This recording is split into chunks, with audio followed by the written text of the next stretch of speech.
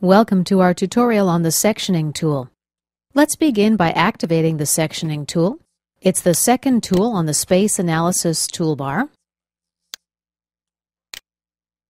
OK, and let's press to activate it. Next, let's select Window, Tile Vertically. We can also move the section plane and rotate it using these handles.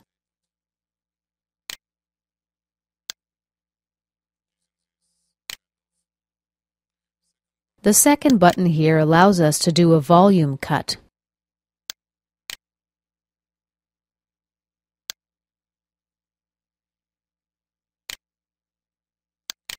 We've got a couple more choices here too.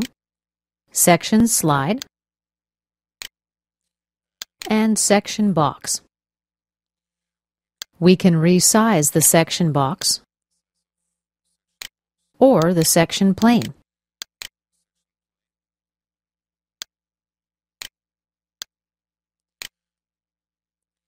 Now let's go review the Positioning tab. Right here we can enter numerical values for the positioning. The next option is Geometrical Target. When I mouse over, it gives me the plane. If I click it, the section plane repositions.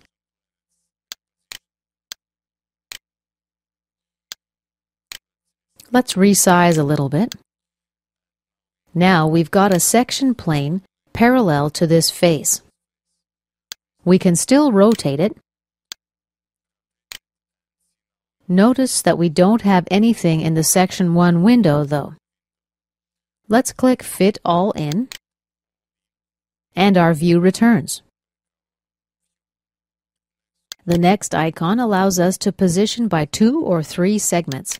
I'll select this line, this line, Our plane repositions to go through both of these lines. The next option is Invert Normal. See what happens? The direction changes.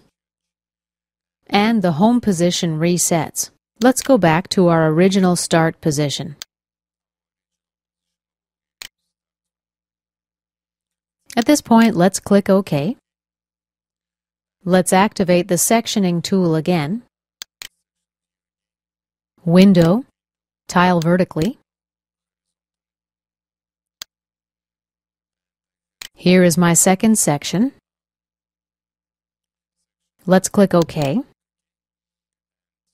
Let's activate the sectioning tool again. Window, tile vertically.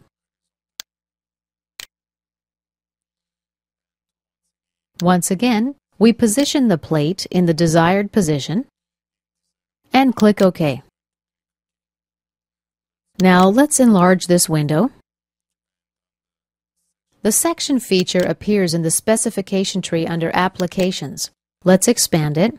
We see sections 1, 2, and 3. They're now visible. You can see them better when I mouse over the features in the specification tree.